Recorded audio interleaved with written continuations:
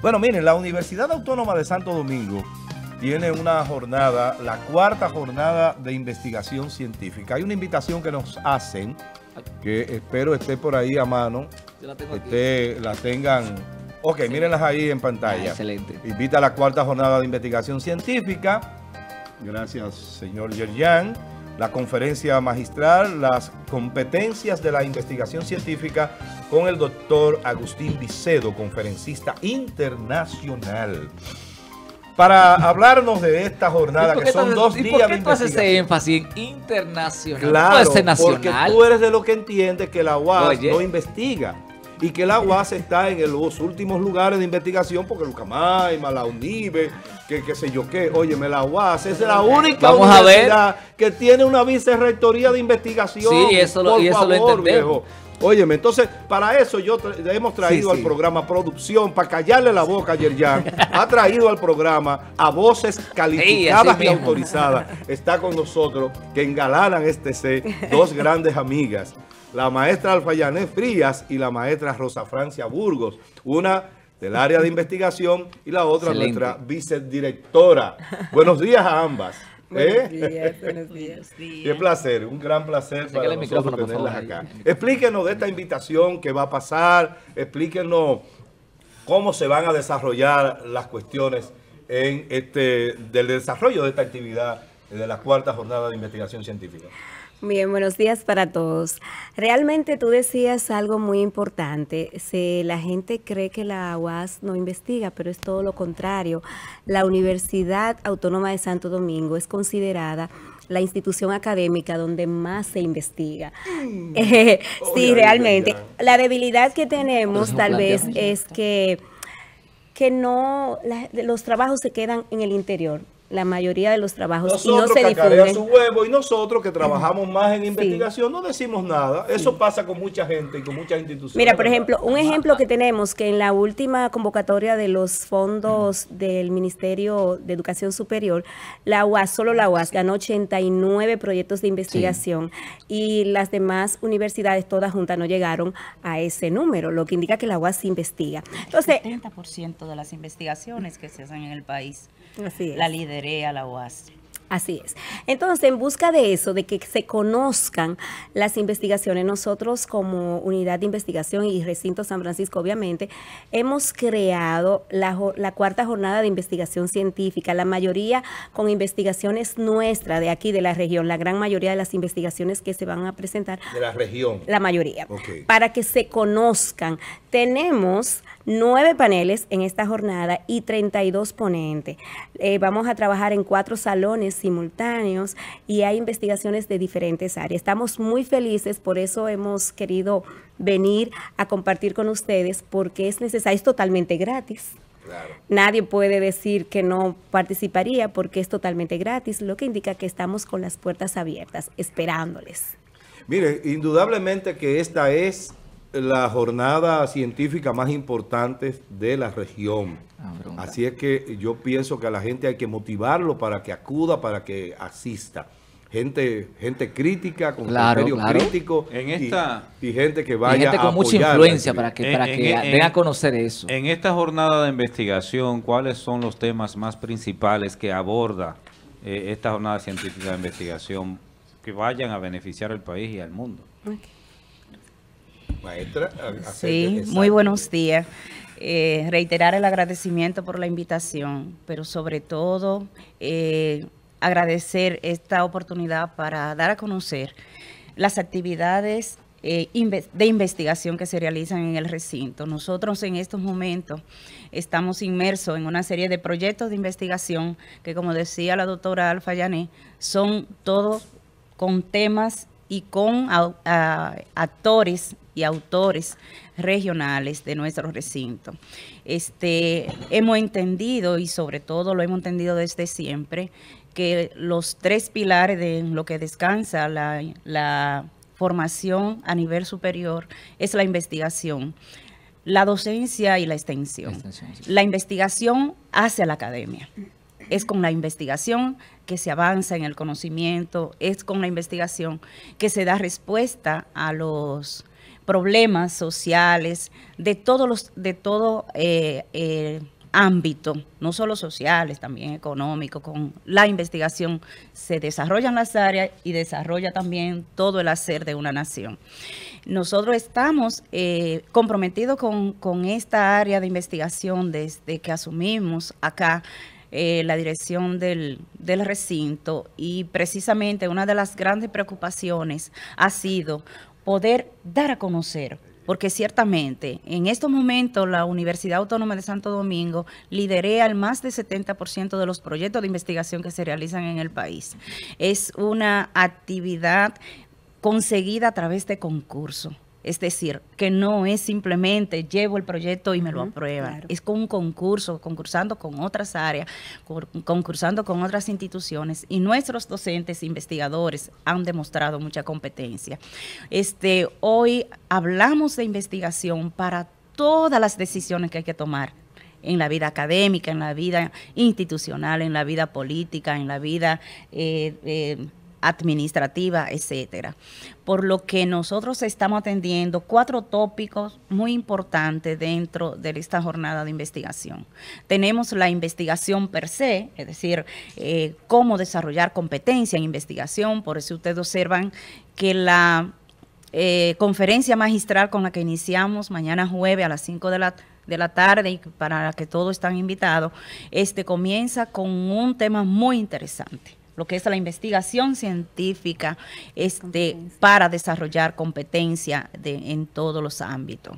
Tenemos el tópico, el eje tecnología, pero tenemos un tópico muy importante, nos metemos también en las humanidades, eh, literatura eh, y otra psicología. Eh, de hecho, tenemos un panel muy interesante donde se trabaja, donde se va a trabajar el tema de la neurociencia como soporte de casi todas las disciplinas hoy este, el, su estudio, su enfoque están desde la neurociencia, cómo se comporta el ser humano en función de, sus capacidades mentales.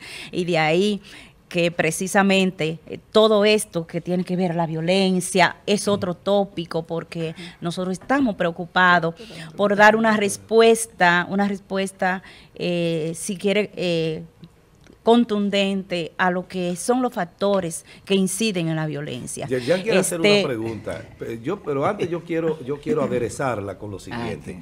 En la psicología enseña, hay algo que se llama pseudología fantástica. Es una idea que tú te creas tú mismo y te, tú te la crees aunque en el fondo tú sabes que realmente no es verdad. Y eso pasa con la opinión que tiene Yerjan oh, con relación a la UAS y la investigación. Adelante, caballero.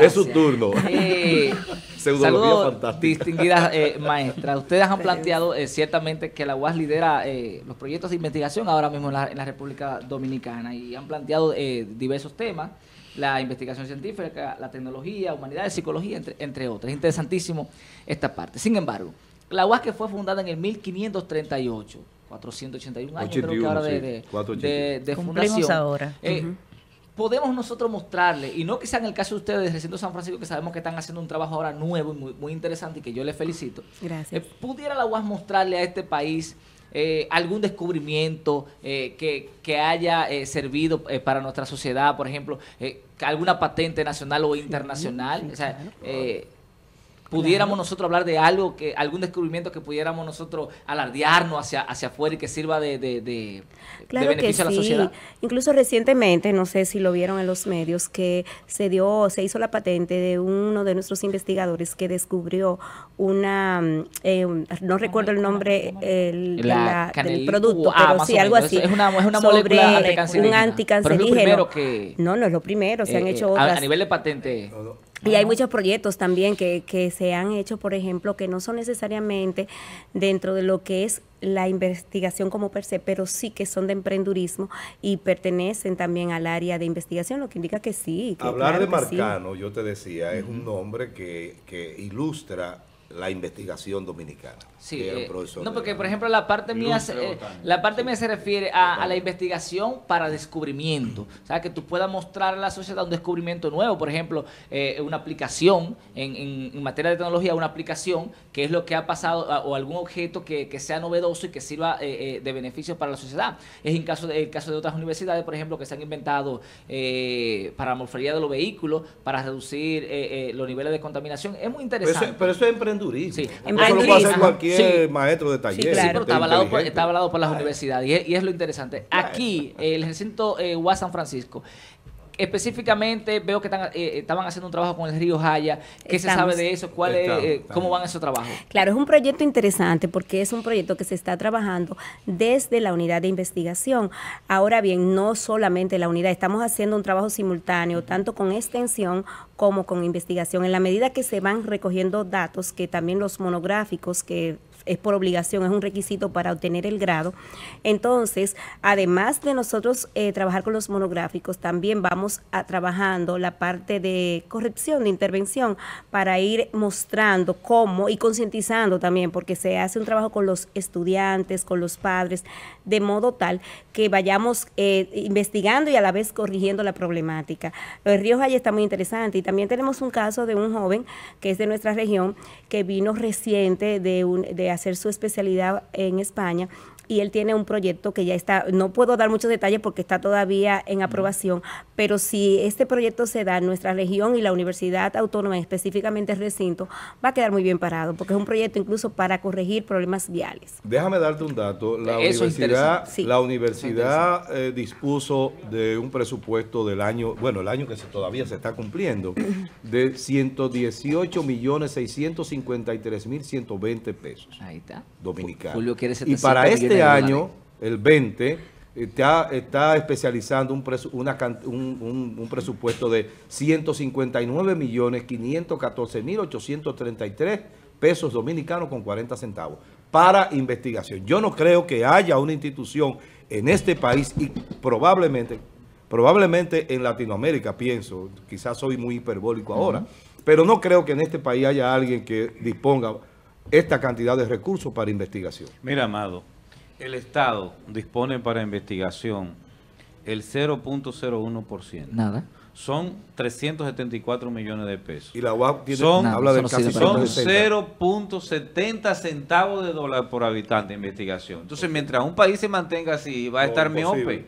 Va a estar miope, su desarrollado. Y no dudes tú que incluyan esto de la UAP. Eso que está, eso que está hablando la UAP, que incluye de investigación, es penoso todavía, porque, señores... Pero es más que el Estado comparativamente. Señores, de mochila, de mochila, eh, un político cualquiera eh, eh, coge ese dinero del Estado y, lo da como si fuera de él. Hay maldad en tu A propósito, oye, eh, eso es absurdo que se esté hablando que la UAS no tenga pero vamos a entrevistarla, vamos, a aprovechar a la maestra. A propósito del tema de violencia. Es una revolución que tiene que haber en este país en materia de educación, Juaner, en materia de universidad, de, educación.